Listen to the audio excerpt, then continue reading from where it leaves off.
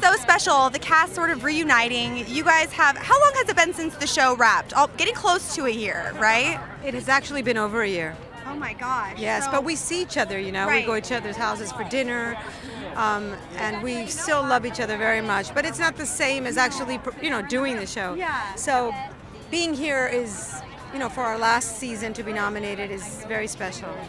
What would you say that you miss most? Just about that everyday interaction with the cast. The doing, the doing of the bits, of those moments, uh, and hearing the crackle of the laugh come right after, because it's you know shot in front of a live audience, and not not all shows are that way No. anymore. You know, um, three camera sitcoms are those aren't as common as they used to be. So that you know, reading something, oh my gosh, I can't wait to do that scene with Jake. Yeah. That's so funny because we had such great writers, and that's important, you know, too.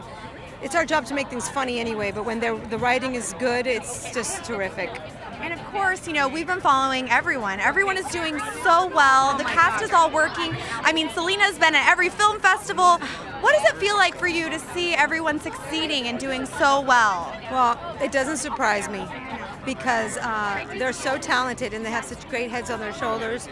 Um, they're just wonderful kid adults. Yes, isn't it crazy though? You saw them grow up in front of your own eyes. Yeah, and you know, the, Selena's 20. It's like she's not a teenager anymore. know. When I saw that, I was like, oh my gosh, she just had her sweet 16. you know, it just goes by so fast. Um, and David, he's a man. David Henrie's 23, I think. Amazing. Uh, he just got a, a big, great film as the lead as well. And Jake, my gosh, Doing so many projects. yeah, and he's so grown up, and his voice is so different. And it's just, it doesn't surprise me at all that they're doing so well. And Jen is here tonight. I don't know if you talked to Jen. Gorgeous, as ever. Always. So uh, it, it, to win tonight would be like a dream. But honestly, we won twice already. So if we didn't, it wouldn't be like oh The end of no. the world. It would be just like wow, we got nominated for our last season, and what a what a great experience it was. Period.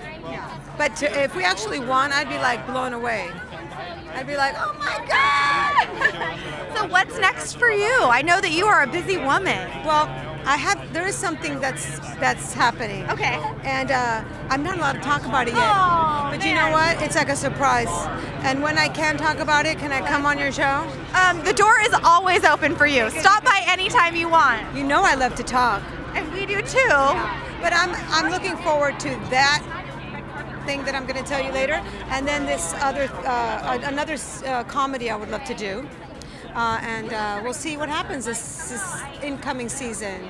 Fingers crossed. We can't wait to hear.